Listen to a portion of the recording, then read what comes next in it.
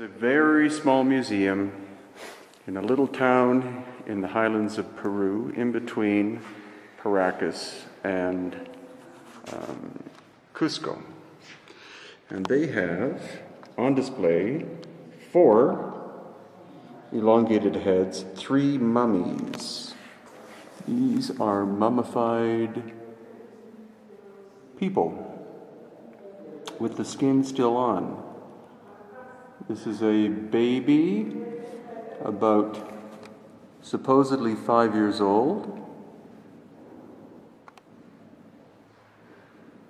You can see there in the middle of the shot, that's probably where the binding of the skull was done.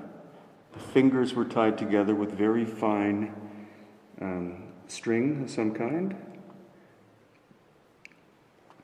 And then this is a female. Sorry for the quality of video, but they always use this cheap glass. So, nothing I can do about that.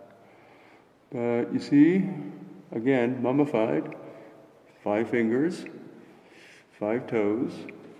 She has an elongated skull, and you can still see her ear.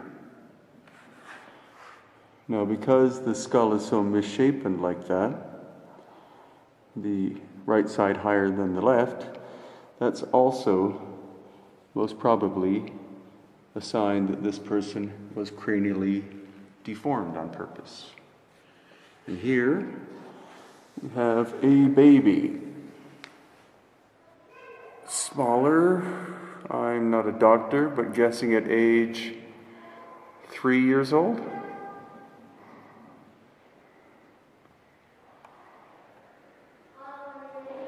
Again.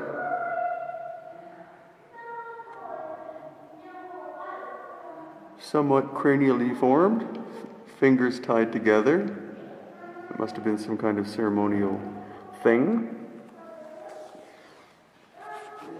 And then a view from the front.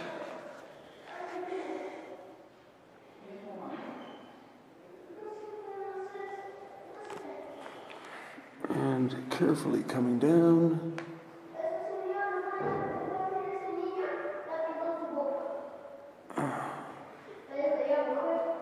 With the sound of an obnoxious Peruvian child in the background.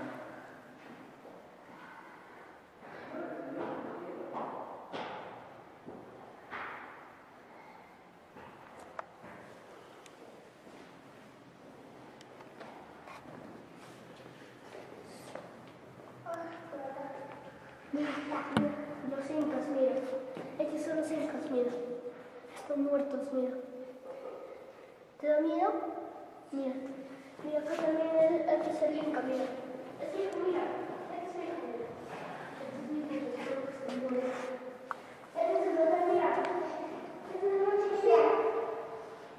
So, as the theory is proving out,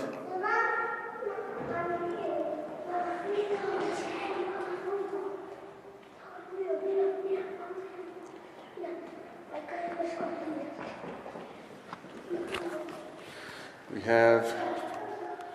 Oops, wrong way. We have elongated skulls in Paracas on the coast. We have elongated skulls in Cusco in the highlands. And partway in between, we have elongated skulls as well. DNA testing would have to be done, as well as carbon 14, to see whether these people are or are not related. But it seems pretty obvious that these are all the same people of some kind. No. Por favor.